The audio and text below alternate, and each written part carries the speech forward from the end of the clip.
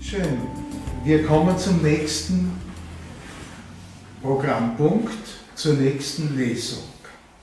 Und da hören wir jetzt jemanden, äh, der einen Sprachwechsel hinter sich hat. Äh, wir haben gestern, gestern erst mit einer Kollegin gelegen, sie ist heute hier, auch unter den Zuhörern, Gelegenheit gehabt, darüber zu sprechen, äh, weil doch es immer, immer wieder, man immer wieder auf Kollegen, Kolleginnen trifft, die nicht in ihrer Muttersprache schreiben, die es geschafft haben, äh, die in ihrer Muttersprache begonnen haben, nach Österreich gekommen sind und dann eben den Übergang äh, ins, ins Deutsche genommen haben, was ja alles andere als einfach ist, wie auch manche österreichische Emigranten es dann den Übergang in eine andere Sprache, einige wenige nur, geschafft haben und dann auf Englisch geschrieben haben.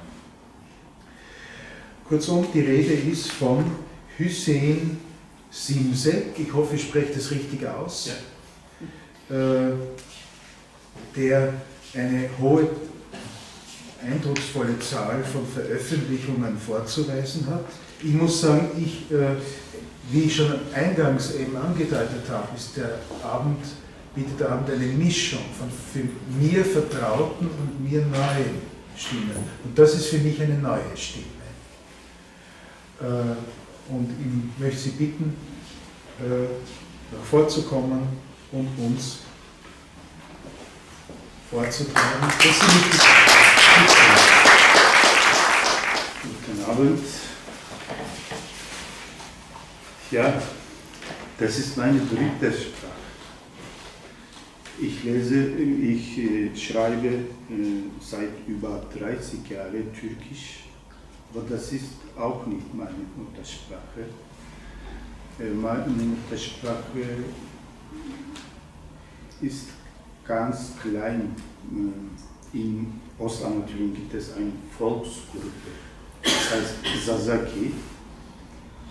Aber äh, ja, ich kann äh, mit Sasaki auch schreiben, dann lesen, aber das ist sehr, sehr klein. Äh, Ich will gerne ein bisschen mich vorstellen.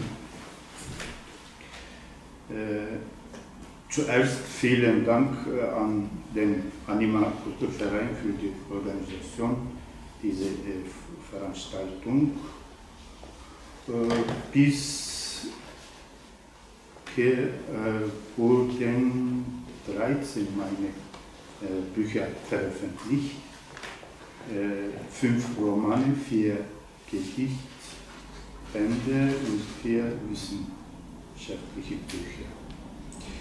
Und drei davon wurden auch in deutscher Ausgabe hergestellt. Äh, eine wichtige Neuerung für mich war in diesem Jahr die Veröffentlichung äh, eines Gedichtbandes. Äh, diese Gedichtband mit dem Titel Dein Gesicht ist eine Wand ist im Februar im Utopia Verlag äh, erschienen. Das ist die türkische äh, Version.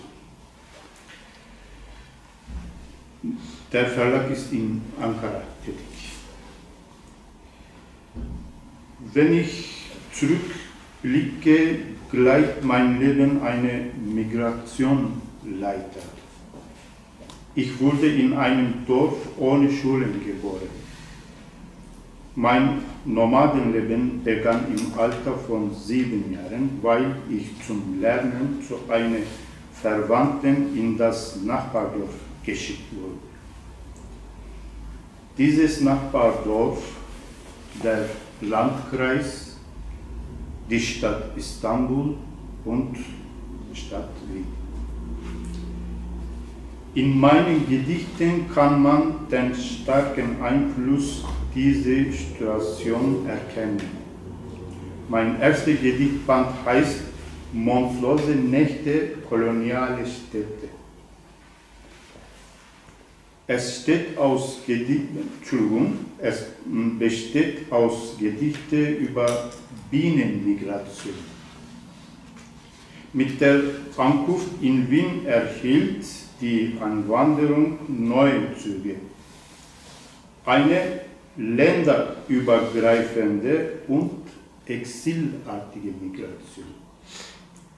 In den Gedichten dieses Buches werden Migration und Exil in ihre internationale, internationalen Dimension einbezogen. Aber die Menschen haben auch den Wunsch, im Rahmen ihrer eigenen Wahl in neue Länder zu reisen.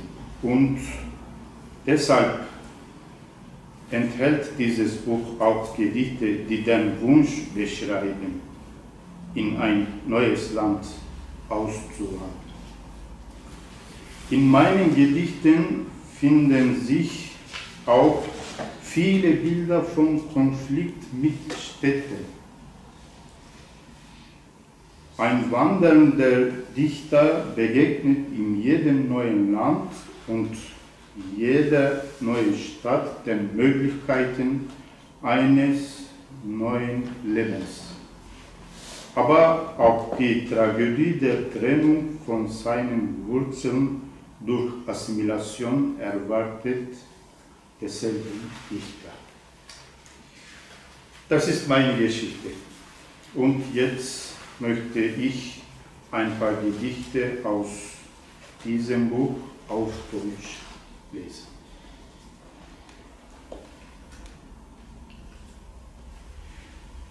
Ich war der Atem einer Rose. Eine Rose atmete mich. Ihr glaubt es nicht, aber ich war der Atem einer Rose. In dem Moment, da mich die Rose atmete und verwelkte, zwängte ich mein ganzes Leben hinein. Der Atem aller Rosen ist ein Kuss des Lebens. Ihr glaubt es nicht, aber ich lebte so. Voller Mund roch ich nach Rose. Als die Zeit kam, die meine Rose verwelkte, blieb ich ohne Atem und Geruch zurück.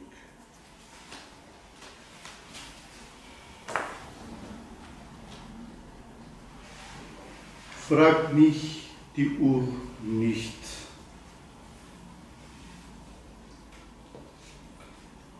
Ich weinte deinetwegen eines Abends. Wie viel der Maske fiel von deinem Gesicht.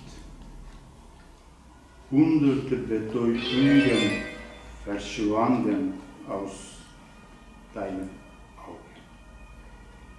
Frag mich die Uhr nicht, wo dein Gehirn so offensichtlich ist. Rückwärts zählt mein große Zeige. Wenn es darum geht, zum Anfang zurückzukehren, kehre ich zurück in den Leib meiner Mutter. Ich schlucke jedes Wort, was ich sage, und ich vergesse das Alphabet bis auf den ersten Buchstaben. Ach, Geliebte, zieh einen Strich über meinen Namen. Ich bin nicht bestimmt für dein neues Namensverzeichnis. Dass du gehst, ist so offensichtlich. Frage also nicht noch ständig nach der Uhr taxiere mich nicht und nimm von mir deinen Blick, der trifft wie ein Kugellicht. An deinem Herzschlag kannst du finden den passenden Augenblick. Mein großer Zeiger läuft zurück, der kleine ein ankommende Verräter. Dass du gehst, ist so offensichtlich, also bleibt nicht.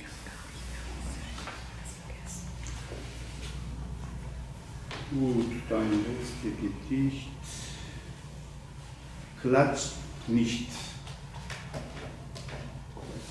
Es reicht, dass ihr uns zur Heldentat verurteilt.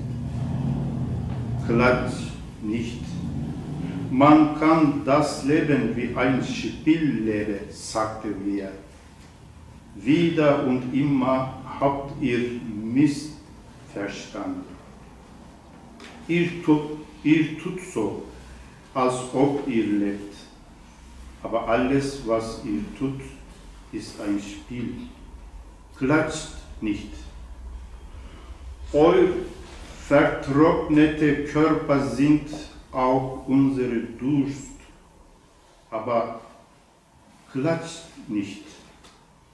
Knochenstimmen, Knochenstimmen erheben sich von euren erhitzten Händen. Unsere längstes und erdrückendes Schweigen kann gleich nach euren größten Vertauschbrüchen. Klatscht nicht. Hört ihr auf mit dem Applaus, wir laufen nicht zum Sieg. Lasst uns diesmal nicht falsch liegen. Machen wir eine Ausnahme für unsere Geschichte.